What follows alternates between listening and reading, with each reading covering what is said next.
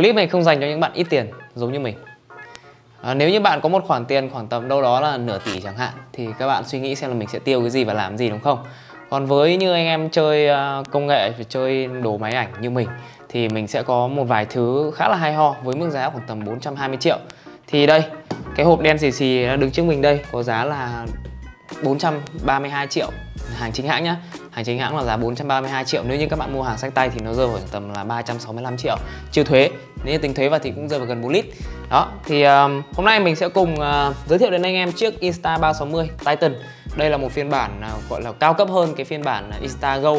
Hôm nọ mà mạnh nó giới thiệu nó chỉ bé xíu đây thôi. Còn cái con này thì nó to khoảng đâu đấy gấp trăm gấp một nghìn lần gì đó. Anh em nhìn hộp anh em sẽ hiểu. Và bây giờ chúng ta sẽ cùng khám phá xem là trong cái hộp này sẽ có cái gì điều đầu tiên là với cái mức giá mà 432 triệu thì các bạn sẽ có cái gì? Cái hộp. Là cái hộp này được làm bằng nhựa và nó khá là chắc chắn. À, cũng như là chúng ta sẽ có những cái tay à, nắm ở hai bên và có cả bánh xe để chúng ta có thể kéo nó đi cũng như là tay cầm. Cái hộp này thì à, xem nào cái hộp này thì nó khá là giống với cái hộp à, của con Mavic 2 Pro. Mình đã giới thiệu anh em. Thì ừ, chất liệu hộp và cũng như là về cái build cấu tạo thì nó xem xem như thế. Khá là cứng và chắc bởi vì là cái máy bên trong nó rất đắt mà, vậy nên là cái hộp của nó cũng phải đắt theo. Nếu như cái hộp này mua không ở ngoài thì anh em rơi vào đâu đó khoảng tầm hai, ba triệu gì đấy, một cái hộp này. Ok, và bây giờ thì à, mình sẽ để như này để mình mở cho anh em xem. Mình sẽ mở video rất nhanh thôi, mình sẽ không nói quá nhiều.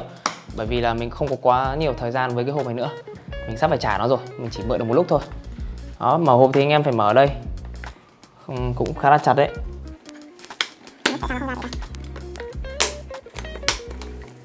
Two thousand years later. Rồi, đấy các bạn thấy không? Riêng cái chốt khóa thôi mở đã mất thời gian rồi Chứ không nói gì đến việc uh, làm cái khác. Đây, ok và đây là phía bên trong của chiếc hộp này Thì chúng ta sẽ có hai ngăn. Thì uh, ngăn đầu tiên chúng ta sẽ có một chiếc uh, máy chính đó chính là chiếc uh, Insta360 uh, Titan. Đó một cái um, camera 360 rất to và khủng bố ở đây. Mình sẽ đặt sang một bên tiếp theo đó thì chúng ta sẽ có tờ giấy uh, chúc mừng uh, Insta360 Titan của bạn. Đây là một lá thư của founder Insta360 gửi đến các bạn khi mà các bạn mua sản phẩm này. Cũng đúng thôi với mức giá đâu đấy gần 400 triệu hơn 400 triệu thì cái việc có thư cảm ơn là chuyện bình thường. À, chúng ta sẽ có một tập sách hướng dẫn sử dụng. À, đây. À, rất nhiều thứ ở bên trong này các bạn nên đọc. Ừ. mình sẽ không mở quá nhiều đâu nhá. Mình sẽ giới thiệu nhanh thôi à, chúng ta có một hộp đựng à, rất nhiều các link phụ kiện. Thực ra nó là các hộp đựng phụ kiện của cái chiếc Insta 360 này thì đúng hơn. Rất nhiều các kết nối ở trong một cái hộp à, đựng cáp để trong riêng biệt. À, thành phần chính của nó thì chúng ta sẽ có một cái à, flash size transistor và một cái à, đây là receiver. Đấy một bộ à, phát tín hiệu và một bộ nhận tín hiệu. Thì uh, hai cái bộ này làm gì mình sẽ nói rõ hơn ở phần sau chúng ta sẽ có thêm đó là những cái anten à, uh, GPS và anten thu phát sóng của các thiết bị uh, truyền phát tín hiệu ở đây. Uh, và chúng ta sẽ chỉ còn là những cái adapter sạc mà thôi không có quá là không có, không có gì ở dưới này cả. Chúng ta chỉ chỉ có adapter sạc. Uh, và quay trở lại với nhân vật chính của chúng ta chiếc Insta360 Titan. Thì uh, đây như anh em nhìn thấy chúng ta sẽ có một lớp cao su để bọc che chắn. Về cơ bản thì nó khá là giống với một quả bóng tuy nhiên thì ờ, cái này thì nó không có tác dụng là đá bóng cũng như là bóng truyền giống như là ném bóng truyền vào mây bách chẳng hạn thì con này không có chức năng đấy. À, nó sẽ chỉ có một chức năng đó chính là ghi hình à, cho các bạn với một file lên tới là à, 11k bây giờ mình sẽ sâu rõ thông số hơn để các bạn thấy. Thì chúng ta có khả năng là quay và ghi hình lên tới là 11k à, VR nhé các bạn nhé đây là cái khả năng nhìn uh, kính ấy. Các bạn đeo kính vào chúng ta sẽ có 8 cảm biến camera và với uh, kích cỡ là micro four thirds thôi. Uh, chúng ta có khả năng là livestream với kiểu hình là 360 uhm, chúng ta có hệ màu lên tới là 10 bit 10 bit màu nha các bạn. Và chúng ta có Crystal View 11K Playback có nghĩa là có thể xem lại ở định dạng 360 với cái 8 cái cảm biến ở trên chiếc Titan này thì các bạn có góc lên tới là 200 độ.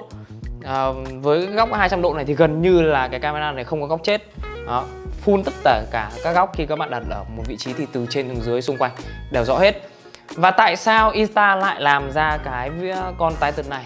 Nếu như các bạn để ý thì chúng ta có Google Street View chúng ta có những cái công nghệ VR và chúng ta có những cái um, việc mà chúng ta cần phải sử dụng đến việc là chụp toàn cảnh chẳng hạn. Ví dụ như bây giờ các bạn muốn chụp ảnh toàn cảnh thành phố các bạn muốn sử dụng Street View các bạn muốn tưa, cung cấp dữ liệu cho Google Street View thì các bạn có thể sử dụng đến chiếc Titan này với chất lượng hình ảnh là cao nhất đẹp nhất.